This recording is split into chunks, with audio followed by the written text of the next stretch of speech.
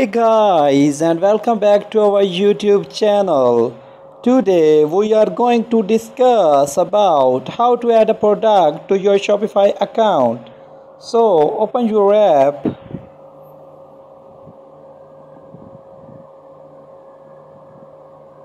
and click the add your product icon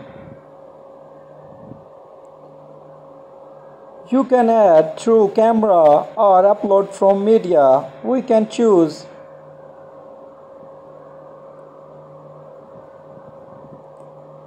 I prefer upload from media. Select the pictures and click the upload icon. Add the product title like this is casual shoes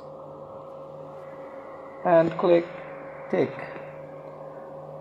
Here it is. It is just added. I hope you like the video. Stay tuned for more tutorials. Thanks for watching. Take care